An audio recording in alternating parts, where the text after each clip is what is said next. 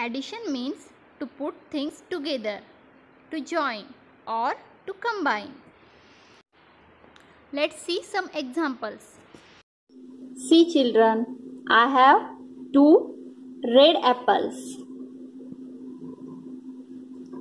And these are two green apples. I am keeping them here.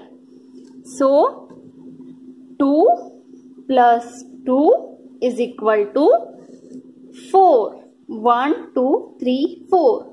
So, when we add number 2 with number 2, we get number 4. See what I have. I have one clip. Now I am going to add 5 more clips here. 1, 2, 3, 4, 5. So 1 plus 5 is equal to 6. There are 6 clips now. Now I have 2 clips. I am going to add 4 more clips. 1, 2, 3 and 4. 2 plus 4 is equal to 6. Now I have 3 clips. 1, 2, 3. And I am going to add 3 more clips. 1, 2, 3. 3 plus 3 is also equal to 6.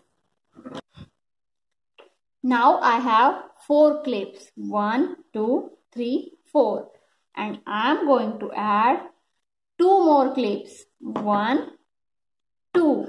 So children 4 plus 2 is equal to 6. Now I have 5 clips. 1, 2, 3, 4, 5. And if I add one more clip here, 5 plus 1 will be equal to 6. So, 4 plus 2 is equal to 6, 2 plus 4 is equal to 6, 1 plus 5 is equal to 6 and 5 plus 1 is also equal to 6. This is called commutative way of addition. It means that we can get the answer 6 by adding the numbers in different ways.